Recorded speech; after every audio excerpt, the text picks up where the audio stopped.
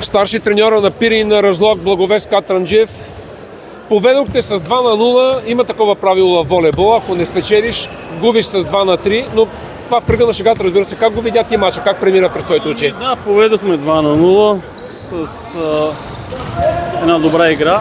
След това явно намалихме темпото и отбора на Варна взе да се отиграва техните ситуации и просто следващия гейм не игра, надигра. В четвъртия гейм имаше такива спорни ситуации в началото. Там беше явно развръзката в този гейм. Равностойни ли са отборите двата на Черноморе на Пирин според теб? Ами да, равностойни са. Даже сме един до друг в класирането. Така Да, че седмо-осмо. бориме се за... И двамата отбора се бориме за 7-8 място, така че според мен са равностойни. Кажи нещо повече за отбора. Колко са, каква е средната възраст на тима? Млади момчета, обиграни, опитни, само един-двама, май? Опитни имаме един-двама. Даже три момчета са така горе-долу опитни, другите са млади момчета от нашата школа, старша възраст. Двама-трима имаме млади от Смезели и това е общо взето.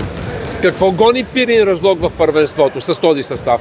Ами Пирина Злог гони участие в плейофите. Нито сме фаворити после за плейофите. Важното е да показваме една добра игра и момчета да израстват. Шампионата по равностоен ли е тази година? Ами да, мисля, че да. На какво се дължи според теб? Ами има два-три равностойни отбора и с а, разпускането на Хебър, Нещата се да, промениха. нещата се промениха. Пълни ли се залата в домакинските матчове? Да, при нас винаги е пълна залата. Желая ти здраве! Мерси.